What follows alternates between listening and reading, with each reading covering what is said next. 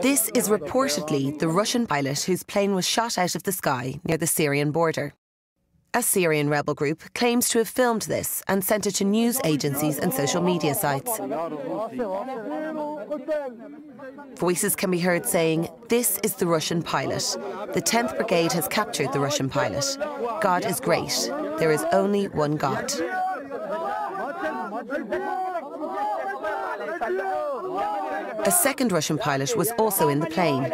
He or she is also believed to have ejected from the aircraft, but has not yet been found. The plane crashed in an area where groups such as the Free Syrian Army are operating, but Islamic State has no known presence.